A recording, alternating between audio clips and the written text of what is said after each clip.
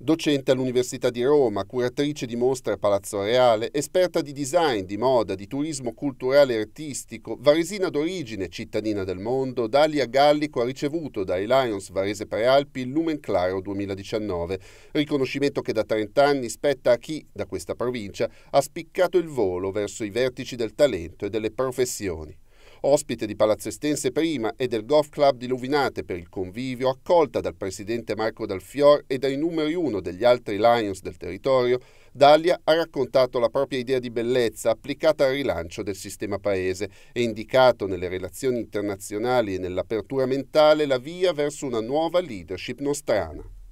Non è il momento di chiudersi, anzi, proprio perché da un punto di vista di cultura del progetto l'Italia è ancora considerata maestra, è il momento in cui dobbiamo essere noi portatori ancora di un pensiero, sempre con una visione sicuramente attenta a quello che è il futuro, quindi immagino le nuove tecnologie, quello che un tempo poteva essere solo fantasia che invece adesso possiamo realizzare, ma sempre ben orgogliosi del nostro passato.